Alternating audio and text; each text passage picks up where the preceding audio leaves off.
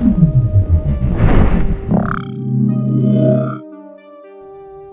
wanita warga Indonesia ditemukan maut dengan empat kesan kelar di bahagian badan termasuk di bahagian leher sepanjang 13 cm di apartmen Seri Nipah Sungai Nibung malam tadi.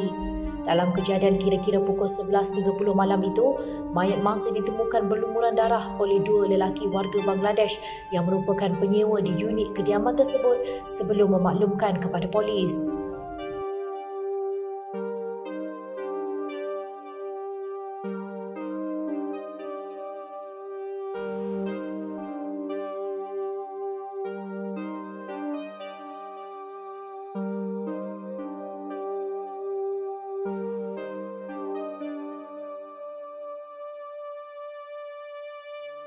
Música